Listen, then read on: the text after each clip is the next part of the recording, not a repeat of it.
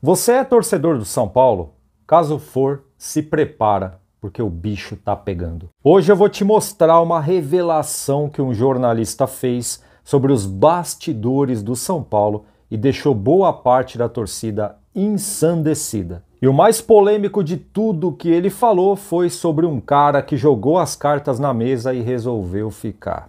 E uma observação: se eu apenas te contar, muito provavelmente você não vai acreditar. Por isso que eu trouxe o vídeo do jornalista falando e vou colocar aqui para você assistir. E tem também retorno confirmado ao São Paulo Futebol Clube e vamos conversar sobre as boas novas de Alexandre Pato e o que é que a torcida está falando em suas redes sociais. Mas antes, eu conto com a sua colaboração para me ajudar a crescer aqui na plataforma e é muito simples, é só clicar no like, tá? Nesse joinha que está aqui embaixo e se inscrever no canal. Canal este que é patrocinado pela OneXBet, a plataforma de apostas esportivas que tem as mais altas taxas de retorno quando você ganha. E se você é bom de palpite, você não pode ficar de fora da OneXBet. Lá tem um layout maravilhoso, é fácil de mexer. Seu dinheiro está seguro tanto para colocar quanto para tirar. Tem suporte ao cliente 24 horas, várias opções de jogos e eu poderia passar meia hora falando das demais qualidades da OneXBet. Só que eu peço que quando esse vídeo acabar, Clica no link que está no comentário fixado e veja com os seus próprios olhos. E se registrando com o meu cupom 1xRenato, no seu primeiro depósito você vai ganhar um bônus de 100% do valor. É sensacional. E para não passar batido, eu vou te fazer a mesma pergunta que eu fiz em uma enquete aqui na barra da comunidades do canal, que você só vê se tiver inscrito. Se não se inscreveu ainda, clica no inscrever-se em vermelho, certo? E a pergunta era: qual desses jogadores deveria estar na seleção brasileira para disputar a Copa? Gabigol, Dudu, Fagner ou Igor Gomes? Eu só coloquei esses quatro porque na enquete só disponibiliza quatro nomes. Portanto, qual desses quatro jogadores que você acha que foi injustiçado pelo Tite?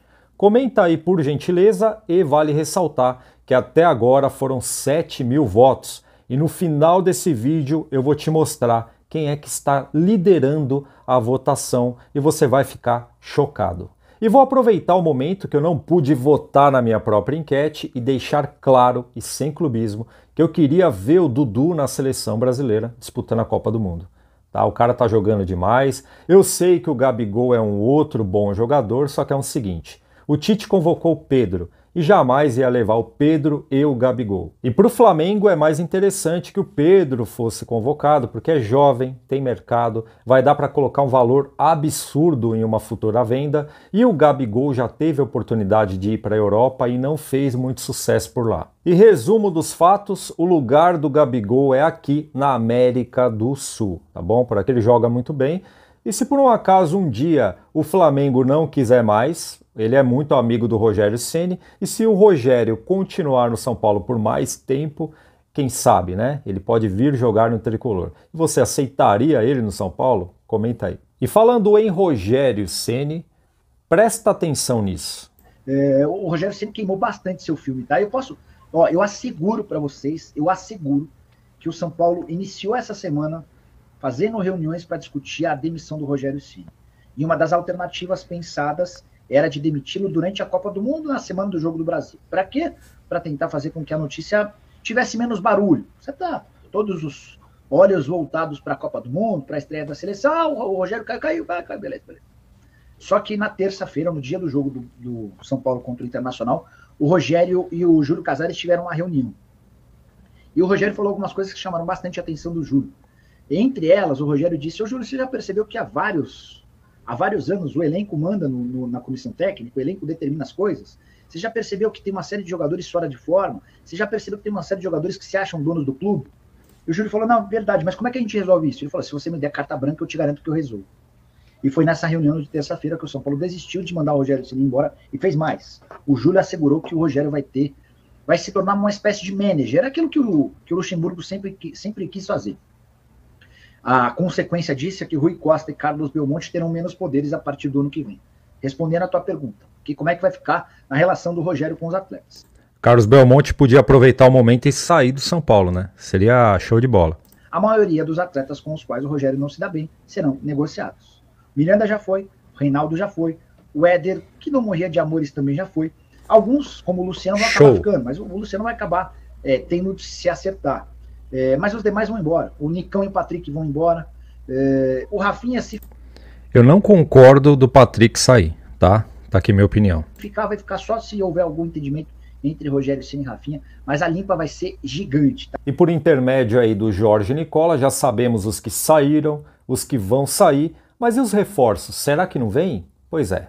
O que temos até agora de reforços, presta atenção, reforços é o retorno do Lisieiro, que será aproveitado aí pelo Rogério, e do lateral Orejuela. E logicamente o plantel será reforçado. Só que guarda bem isso que eu vou te falar. Será apenas nas oportunidades de mercado. E sobre essa tal oportunidade de mercado, mais uma vez o nome do Alexandre Pato ganha força nas redes sociais. E o motivo que acendeu boa parte da torcida foi um story que ele compartilhou, onde ele, Alexandre Pato, estava treinando aí do lado de um rapaz com a camisa do São Paulo. Em outra rede social, ele fez uma publicação que muitos entenderam como enigmática. Ele colocou 2023 e dois pontos de interrogação, né? O pessoal foi lá, comentou, pediu para ele voltar para São Paulo, mas teve um comentário em específico que me chamou muito a atenção. Volta para o São Paulo não, fica aí na MLS, que aí você recebe em dia. No São Paulo, Júlio Casares está contratando jogadores que aceita jogar por caridade. Comentário forte, mas eu concordo plenamente. Cara, é inadmissível um clube que nem o São Paulo dever para atletas, né? É triste. Isso contraria tudo que foi feito na história. Eu peço, por gentileza, que você deixe a sua opinião sobre isso aqui no espaço dos comentários. E para a gente fechar com chave de ouro, olha só qual jogador, na opinião do público, que deveria estar na Copa do Mundo com a seleção. Igor Gomes está ganhando disparado com 42%.